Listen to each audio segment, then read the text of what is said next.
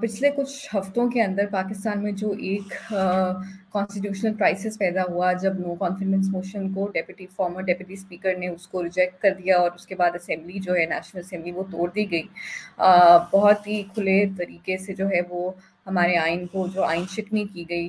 सबक वजी अजम इमरान खान की तरफ़ से उनकी पार्टी के लोग जो हैं वो सेलिब्रेट कर रहे थे उसको कह रहे थे कि हमने सरप्राइज़ दिया उसके बाद भी कुछ ऐसी डेवलपमेंट्स हुई हमने अभी रिसेंटली पंजाब असम्बली के अंदर जो है आ, हमारे जो लॉ मेकर्स हैं वो एक दूसरे से बाकायदा हाथापाई कर रहे थे। आ, जो है वो हॉस्पिटल पहुँच गए उनमें से कुछ बहुत बुरी हालत हुई कुछ लोगों की जो इंजर्ड हुए उस पूरे क्लैश के अंदर। बहुत ही डिस्टर्बिंग सीन्स पंजाब असेंबली के अंदर देखने को मिले अब वहाँ पे भी जो है एक क्राइसिस की सूरत हाल है, क्योंकि आइन के ऊपर अमल दरामद जो है, वो करने के लिए कुछ लोग जो हैं, वो तैयार नहीं है। तो ये जो आइन के साथ बहुत बड़ा मज़ाक हुआ पिछले कुछ हफ्तों के अंदर, हमने नया दौर के ऊपर आपको कवर इस पूरी चीज़ को किया और आप तक जो हकाइक हैं वो पहुँचाए और इसका क्या मतलब बनता है इसके क्या कॉन्सिक्वेंसेस निकलते हैं आइन शिकनी करने के आइन को इस तरह से इंसल्ट करने के वो भी हमने आपके साथ आपके सामने प्रेजेंट किए तजिए भी जो है वो प्रेजेंट किए उसके अलावा फैक्ट्स भी आपके सामने बताए कि आइन को तोड़ना और आ, उसको जो कवर अप करने की जो कोशिशें होती हैं वो किस तरह होती हैं। तो शुक्र है कि सुप्रीम कोर्ट ने जो है वो अच्छा फैसला दिया और फाइनली अब थोड़ी सी एक आप कह लें कि सेम्बलेंस ऑफ़ स्टेबिलिटी पाकिस्तान के अंदर वापस आ गई है और आहिस्ता आहिस्ता आगे होपफुली और ज़्यादा होगी। तो लेकिन जो हमने पूरा फीडबैक देखा लोगों का, नया दौर के हमारी पूरी कवरेज के ऊपर, उससे हमें ये पता चला कि पाकिस्तान में अनफॉर्चुनेटली पहले ही पता था हमें, लेकिन ये एक रिमाइंडर हमें मिला कि ज़्यादातर पाकिस्तान के अंदर जो नौजवान हैं अनफॉर्चुनेटली वो समझते नहीं है कि आइन जो है वो आ, किस कदर जो है एक मुकदस डॉक्यूमेंट है जो जिसकी ताकत ये है कि वो पूरे पाकिस्तान को यूनाइट करता है, एक बाइंडिंग फोर्स है और उसकी वजह से ही हम जो है वो एक मुल्क अपने आप को कह सकते हैं, एक नेशन अपने आप को कह सकते हैं। इसलिए हमने नया दौर पे ये एक सीरीज़ शुरू की है hashtag know your constitution जिसमें हम कोशिश करेंगे कि अपने आवाम को स्पेशली यंग लोगों को एजुकेट करें कि वो कॉन्स्टिट्यूशन की अहमियत को समझें और कॉन्स्टिट्यूशन का जो रोल है, पाकिस्तान को एक कौम के तौर पे यकजा रखने में और जो फंडामेंटल राइट्स हमें मिलते हैं, वो इसकी वजह से, इस डॉक्यूमेंट की वजह से मिलते हैं, वो लोगों को पता चले। कुछ लॉयर्स से बात की, कुछ जो है इस इस बारे में जो रिसर्च करते हैं, उन लोगों से बात की और उन्होंने क्या हमें बताया, वो आप इस वीडियो में देखेंगे। बहुत साल पहले जब मैं एक दफ़ा इस्लामाबाद गया तो मेरे साथ एक बड़ा दिलचस्प वाक्य हुआ। आप सबको पता है कि जो सड़क पार्लियामेंट हाउस के सामने है उसका नाम है कॉन्स्टिट्यूशन एवेन्यू तो पहले लिखा होता था कॉन्स्टिट्यूशन एवेन्यू अंग्रेज़ी में और शाराय दस्तूर उर्दू में। आ, पर इस दफ़ा जब मैं इस्लामाबाद गया मतलब कुछ कुछ कुछ साल पहले की बात है तो कॉन्स्टिट्यूशन एवेन्यू अंग्रेज़ी में तो लिखा हुआ था मगर उर्दू में शाराय दस्तूर की जगह कॉन्स्टिट्यूशन एवेन्यू ट्रांसलिट्रेशन उसकी उर्दू में लिखी हुई थी। तो मैंने सी में एक साहब से पूछा कि ये क्यों है? तो उन्होंने कहा कि जी ये इस वजह से है क्योंकि लोग समझते थे कि ये दो फ़र्क सड़कों का नाम है।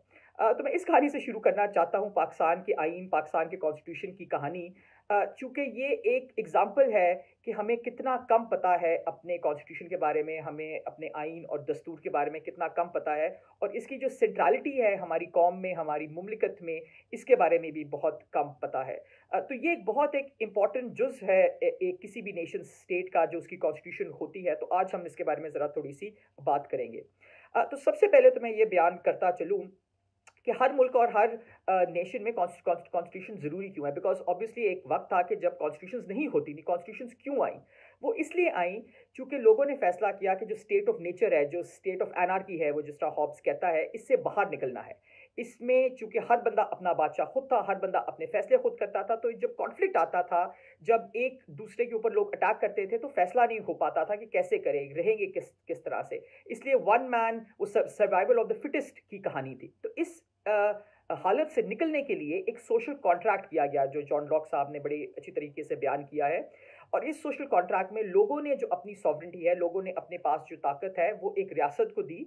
और वो जो कॉन्ट्रैक्ट था कि रियासत के पास क्या ताकत है और लोगों के पास क्या ताकत है और रियासत की क्या पावर है और रियासत क्या कर सकती है, उस सोशल कॉन्ट्रैक्ट को मॉडर्न ज़माने में कॉन्स्टिट्यूशन कहते हैं। और ये डेवलप इसलिए हुई क्योंकि पहले ज़माने में बादशाह जो था, उसकी जो मर्ज़ी थी करता था। जो भी लीडर था, जो भी बन जाता था अपने ताकत के बलबूते पे या किसी भी और वजह से अपने नस्ल के बल, बलबूते पे या अपने रंग के बलबूते पे या किसी भी चीज़ के ऊपर उसकी जो मर्ज़ी थी कर सकता था। तो जो कॉन्स्टिट्यूशन है, ये बहुत ज़्यादा चीज़ों को कंट्रोल करती है और एक इंपॉर्टेंट कॉन्सेप्ट लेके आती है रूल ऑफ़ लॉ का। और ये बहुत एक अहम कॉन्सेप्ट है कि जिस रियासत में या जिस सोसाइटी में रूल ऑफ़ लॉ ना हो वो डेवलप नहीं हो सकता। एक बड़ी इंटरेस्टिंग किताब है आप लोगों ने शायद सुना होगा वाई नेशंस फेल ये डायरन आसम मोगलू है एमआईटी में और जेम्स रॉबिन्सन है यूनिवर्सिटी शिकागो में उन्होंने लिखी थी आज से कोई दस बारह साल पहले और उसमें उन, उन्होंने बयान किया कि वो सोसाइटीज़ डेवलप ज़्यादा करती हैं और वो सोसाइटीज़ आज डेवलप्ड है जहाँ रूल ऑफ़ लॉ का कंसेप्शन आया। तो इस रूल ऑफ़ लॉ का जो कंसेप्शन है उसकी जो बेस है वो एक होती है कॉन्स्टिट्यूशन जिसको सुप्रीम नेशनल इंस्टीट्यूशन भी कहते हैं। तो ये बहुत इंपॉर्टेंट है इसके बगैर कोई सोसाइटी ना चल सकती है ना ऑपरेट कर सकती है ना फ्लरिश हो सकती है और आगे इसमें कोई डेवलपमेंट नहीं आ सकती। तो अब आते हैं पाकिस्तान के ऊपर के पाकिस्तान की कॉन्स्टिट्यूशन की तारीख क्या है? और पाकिस्तानी कॉन्स्टिट्यूशन की तारीख बड़ी इंटरेस्टिंग है क्योंकि हमारी तीन कॉन्स्टिट्यूशन रही हैं 1956, 1962 और 1973 जो आजकल कॉन्स्टिट्यूशन है वो 1973 की चल रही है। और यहाँ मैं चंद चीदा चीदा बातें आपके साथ करता जाऊँ। पहली बात तो ये कि जब कॉन्स्टिट्यूशन कॉन्स्टिट्यूट असेंबली पाकिस्तान की बनी उन्नीस सौ सैंतालीस में आज़ादी के बाद तो सबसे अहम काम जब जिना साहब से पूछा गया कि पाकिस्तान का आइन क्या होगा, दस्तूर क्या होगा तो उन्होंने सबसे इंपॉर्टेंट बात ये की कि पार्लियामेंट इसका फैसला करेगी। आइन साज पार्लियामेंट जो है, जो कॉन्स्टिट्यूट असेंबली ऑफ़ पाकिस्तान है, ये इसका फैसला करेगी कि क्या है and it should reflect the will of the people and the aspiration of the people तो इवन जिना साहब even though he was the sole spokesman as professor Ayesha Jalal says and even though वो इतने powerful थे कि don ने भी एक दफ़ा लिखा कि अगर वो चाहते अपने आप को शहनशाह बनाना तो लोग उनके सर पे ताज भी रख देते, मगर उन्होंने भी ताकत अपनी कॉन्स्टिट्यूट असेंबली को दी और कहा कि पाकिस्तान के लिए कॉन्स्टिट्यूशन बने, क्योंकि वो खुद एक कॉन्स्टिट्यूशन लॉयर थे। उनको पता था कि कॉन्स्टिट्यूशन जो है वो एक बहुत अहम चीज़ है और इसके बगैर जो मुमलिकत का शराजा है वो बिखर जाता है। तो इसलिए उन्होंने वो अहम काम दिया। अब पाकिस्तान की पहली कॉन्स्टिट्यूशन को नौ साल तकरीबन लगे बनने में। नौ साल क्यों लगे? क्योंकि ये एक बहुत अहम डॉक्यूमेंट है। अगर इस पर अग्रीमेंट नहीं है तो किसी चीज़ पर अग्रीमेंट नहीं हो सकती, मुल्क नहीं चल सकता। क्योंकि आपने बहुत ज़्यादा कंपीटिंग फोर्सेस में अग्रीमेंट करानी होती है ताकि वो अपनी पावर्स को एक जगह यूनाइट करके लेके आए। तो 56 की कॉन्स्टिट्यूशन बनी। सैडली मिलिट्री कू हो गया 58 में। उसके बाद अंडर द मिलिट्री कू एक अमेरिकन स्टाइल की कॉन्स्टिट्यूशन बनी 1962 में प्रेसिडेंशियल निज़ाम के तहत, जो कि नहीं चली बिकॉज़ पाकिस्तान एक पार्लियामेंट्री डेमोक्रेसी की तर्ज पे डेवलप हुआ था। क्योंकि यहाँ के लोगों का नेचर इस टाइप का है कि एक स्ट्रॉन्ग प्रेसिडेंट जो कि बिल्कुल एक बादशाह की तरह हो, वो यहाँ एक्सेप्टेबल कम है। तो इसलिए सिक्स टू की कॉन्स्टिट्यूशन भी नहीं चली। मगर एक बहुत अहम बात जो हुई, पाकिस्तान टूटा क्यों? 1971 में पाकिस्तान क्यों टूटा? ये बहुत एक अहम बात है। वो इसलिए टूटा क्योंकि हमने कॉन्स्टिट्यूशनल और डेमोक्रेटिक प्रिंसिपल नहीं फॉलो किया। 1970 में जब इलेक्शन हुए, फ्री एंड फेयर इलेक्शन हुए, किसी ने एक धांधली भी क्लेम नहीं की, कुछ भी नहीं क्लेम किया तो अवामी लीग जो शेख मुजीबुर रहमान की थी one clear majority in parliament 300 की पार्लियामेंट में उनकी 160 सीटें थीं। जो कि क्लियर मेजॉरिटी थी। हमने क्या किया कि हमने कॉन्स्टिट्यूशनल प्रिंसिपल जहाँ उनको हमें इजाज़त देनी चाहिए थी वजी अजम बनने की और सपोर्ट करना चाहिए था पार्लियामेंट को, हमने उसको अंडरमाइन किया। तो कॉन्स्टिट्यूशन तोड़ने की वजह से पाकिस्तान अलहदा हुआ। That was the the real crux of the problem कि हमने जो उनके कॉन्स्टिट्यूशनल राइट था वो नहीं दिया और इसकी वजह से मुल्क टूटा। और अगर आप पाकिस्तान की तारीख में कोई भी एग्ज़ाम्पल देखें वहाँ हर दफ़ा कॉन्स्टिट्यूशनल राइट्स की बात होती है क्योंकि जब तक आप सबको कॉन्स्टिट्यूशनल राइट्स नहीं देंगे जब तक आप लोगों को आ, उनके पूरे हकूक नहीं देंगे तब तक मुल्क आगे नहीं चल सकेगा। तो दो बेसिक प्रिंसिपल जो हमारी कॉन्स्टिट्यूशन के हैं वो बहुत ज़रूरी हैं जो मैं बयान करता चलूँ। एक है फंडामेंटल राइट्स जो आज हमें आज़ादी है आज स्लेवरी नहीं है यहाँ आज मर्द और औरत इक्वल है आज हमारे पास स्टेट इंस्टीट्यूशन हैं टू हेल्प आस आज हम हमारे पास गवर्नमेंट सब्सिडाइज स्कूलिंग है हेल्थ केयर है, वगैरह, ये क्यों है? ये फंडामेंटल राइट्स की वजह से है, ये कॉन्स्टिट्यूशनल वैल्यूज़ की वजह से है। तो ये किसी भी सोसाइटी की डेवलपमेंट में एक बहुत अहम किरदार अदा करते हैं। सेकेंड चीज़ जो पाकिस्तान के लिए बहुत बहुत स्पेसिफिक है इस फेडरेशन पाकिस्तान चार सूबों की और बाकी टेरिटरीज की फेडरेशन है। इसका ये मतलब है कि हर जो फेडरल यूनिट है, उसकी अपनी एक खुद मुख्तारी है, क्योंकि सब कुछ मिला के पाकिस्तान बनता है। अलहदा ना पंजाब पाकिस्तान है, ना सिंध पाकिस्तान है, ना खैबर पख्तूनख्वा पाकिस्तान है, ना बलोचिस्तान पाकिस्तान है, ना गिलगित ना आज़ाद कश्मीर पाकिस्तान है, पर सब मिल के पाकिस्तान बनते हैं। इनको आप निकाल दें, एक भी निकाल दें तो पाकिस्तान नहीं बनेगा। तो जो फेडरल प्रिंसिपल है पाकिस्तान का, वो भी एक बहुत अहम चीज़ है, और अगर इसको हम नहीं मद्देनज़र रखेंगे तो पाकिस्तान अगेन ख़तरे में पड़ेगा और टूटने का ख़तरा इसमें आएगा। और अठारहवीं तरमीम जो थी जो आज से बारह साल पहले आई वो इसी इम्बैलेंस को ठीक करने के लिए आई आई थी। और वहाँ इसीलिए फेडरल प्रिंसिपल को री इंस्टीट्यूट किया गया स्ट्रांगली बिकॉज़ पाकिस्तान बनी ही एक फेडरल कॉन्सेप्ट से है जो कि मुस्लिम लीग का कॉन्सेप्ट था जो कि कायद अजम का कॉन्सेप्ट था। और पाकिस्तान में जो प्रॉब्लम्स आए हैं वो इस वजह से आए थे क्योंकि फेडरल प्रिंसिपल को अप्रिशिएट नहीं किया गया था। सो so, मेरा जो आखिरी यहाँ पॉइंट ये होगा कि ये पाकिस्तानियों के लिए बहुत ज़रूरी है कि अपनी कॉन्स्टिट्यूशन को खोलें, पढ़ें गूगल पे अवेलेबल है वेबसाइट्स पे अवेलेबल है नेशनल असेंबली की वेबसाइट पे है, हर जगह पे उसको समझें और ये जाने कि कॉन्स्टिट्यूशन को फॉलो करना रूल ऑफ़ लॉ के कंसेप्शन को फॉलो करना कितना अहम है अगर हमने अपनी सोसाइटी को आगे डेवलप करना है और एक मुतहद एक फॉरवर्ड लुकिंग कॉम बनना है। क्योंकि कॉन्स्टिट्यूशन और रूल ऑफ़ लॉ के अलावा कुछ भी नहीं अचीव हो सकता।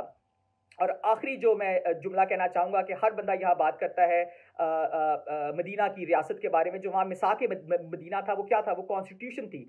So the great thing that the prophet did was कि उन्होंने एक कॉन्स्टिट्यूशन बनाई जिसके तहत मदीना की रियासत चली। तो अगर आप उसी फाउंडेशनल डॉक्यूमेंट को हटा देंगे उसी अग्रीमेंट को आप हटा देंगे जिसके तहत ये मुल्क बना तो ये मुल्क कैसे चलेगा?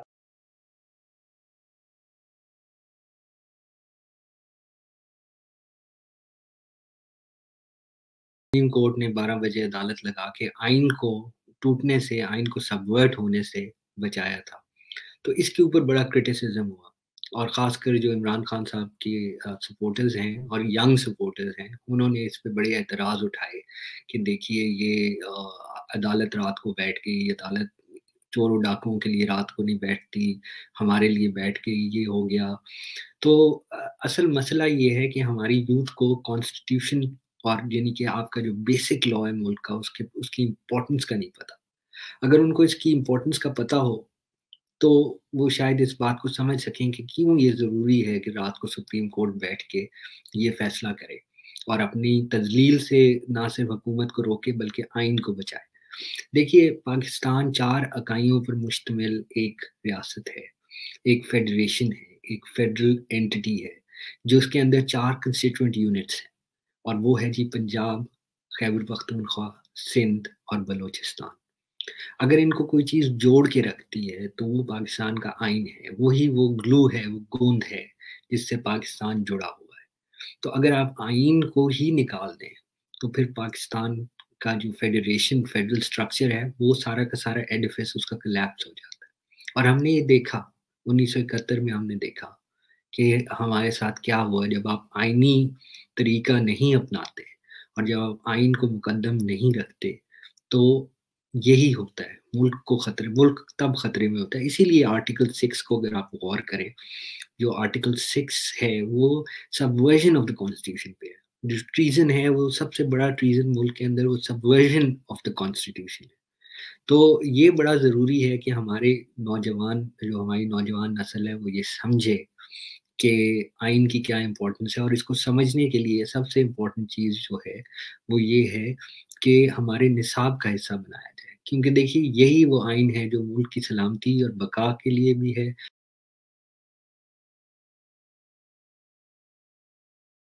आज ज़रूरत है पाकिस्तान में पाकिस्तान के कॉन्स्टिट्यूशन का दफ़ा करने की। इस आइन के दफ़ा के लिए मेरे जैसे कारकुनों ने बेशुमार कुर्बानियाँ दी हुई और मैं थोड़ा उनका ज़िक्र करना चाहता हूँ। जब स्कूल में था तो यूब आमरीत के ख़िलाफ़ हमने जदोजहद की, जो 58 से 69 तक पावर में थे।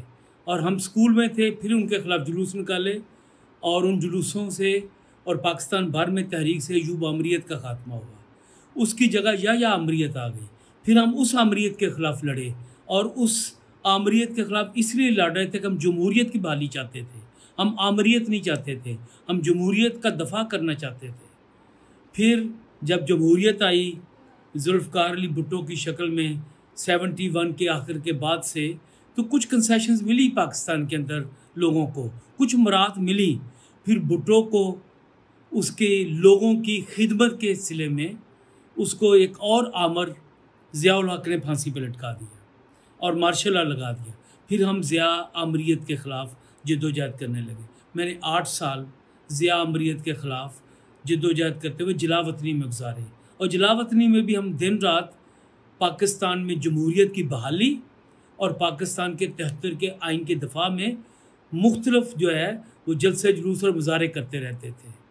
फिर ये जनरल मुशरफ जो दस साल रह के गया है, उसके ख़िलाफ़ हमने जदोजहद की। बारह दफ़ा मैं जनरल मुशरफ के हाथों गिरफ़्तार हुआ। मेरे घर पर बेशुमार दफ़ा छापे मारे। कसूर सिर्फ़ इतना था कि हम फौजी आमरीत की किसी बात को मानने के लिए तैयार नहीं थे। मैं आज भी ये कहता हूँ, फौजी आमरीत किसी शक्ल में किसी बहाने, किसी चक्कर में पावर में आए, हम उसकी मुखालफत करेंगे। लेकिन जो फौजी आमरीत की डायरेक्ट शक्ल में नहीं है, लेकिन फ़ौजी आमरीत जैसे रवशों के साथ मौजूदा आइन के साथ खिलवाड़ कर रहे हैं, हम उनके ख़िलाफ़ भी जदोजहद करेंगे। आइन का दफ़ा आज पाकिस्तान के नौजवानों का सबसे अहम फ्रीज़ है।